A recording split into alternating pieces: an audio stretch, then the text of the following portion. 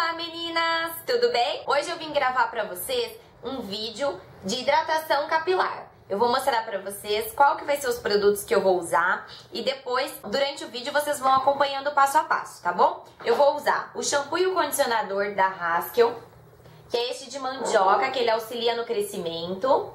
Depois, para hidratação, é, a máscara de hidratação vai ser usada essa da Aquaflora, que ela é uma máscara à base de queratina. E para finalizar, eu vou usar antes da escova este daqui, que é da Aneto, ele é um anti-age, que é para poder escovar o cabelo e usar a chapinha se for preciso, tá bom? Fiquem aí, acompanhem, eu só vou correndo lá lavar o meu cabelo no banho e eu já volto e vocês vão acompanhando passo a passo, ok? Bom, meninas, e aí, preparadas? Então vamos lá. A máscara que eu vou aplicar é essa daqui da Aquaflora, ela é de queratina. Eu vou aplicar ela das pontas pra raiz, mecha a mecha, tá? Eu vou colocar aqui meio frasco desse daqui em um potinho e vou aplicando. Meio frasco, porque foi o que a vendedora me indicou, tá ok? Pra minha quantidade de cabelo. Eu vou aplicando a máscara e já vou fazendo uma massagem para que o produto penetre melhor na, no cabelo, tá? Então é sempre das pontas, aí eu trago os produtos até mais próximo da raiz.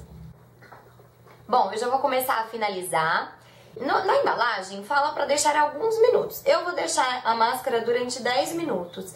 Eu já fiz até bastante massagem, mas durante esses 10 minutos eu posso continuar massageando ou pegar um, uma piranha e colocar a touca térmica, né, prender o cabelo e colocar na touca térmica. Depois enxaguar após os 10 minutos e eu vou condicionar ele no, no banho. Então eu vou retirar e condicionar ele para poder finalizar o processo e depois usar um sem enxágue, tá?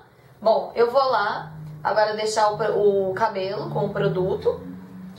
Eu vou deixar, eu vou deixar ele solto assim porque eu vou ficar massageando ele, tá? E vocês façam como vocês acharem melhor, mas eu vou ficar massageando para ver se potencializa mais o resultado. Eu já volto em 10 minutinhos, que eu vou deixar a máscara e aí eu mostro o resultado pra vocês, tá bom? Meninas, voltei! E esse foi o resultado final da hidratação capilar. E aí, gostaram? Eu gostei, achei que deu bastante brilho. Eu vou deixar anotadinho aí todos os produtos que eu usei no passo a passo, tá? Como que foi certinho pra vocês não esquecerem.